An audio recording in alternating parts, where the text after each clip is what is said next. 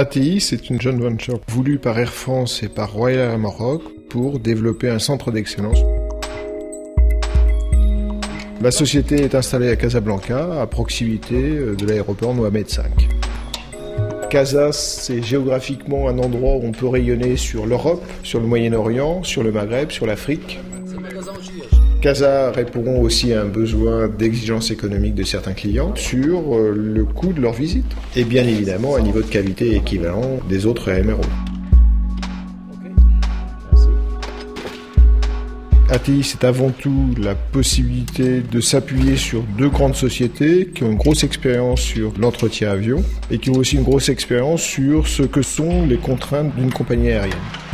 ATI a la possibilité d'utiliser le réseau logistique d'Air France Industrie et aussi celui de RAM pour répondre à des urgences, à des AOG, toujours avec l'objectif de tenir le TAT. La qualité ATI, c'est primordial. Bien évidemment, ATI a son agrément par 145. C'est un gage de qualité sur l'organisation, sur la compétence des gens employés, sur euh, les moyens utilisés, mais c'est aussi un engagement pour ATI de rendre pérenne son organisation, son niveau de qualité pour offrir ce service aux clients. Aujourd'hui, ATI, c'est une expérience technique, une équipe constituée de gens d'expérience, issus de RAM, issus d'Air France. C'est le respect du TAT, c'est la maîtrise des coûts et c'est avant tout le service rendu aux clients.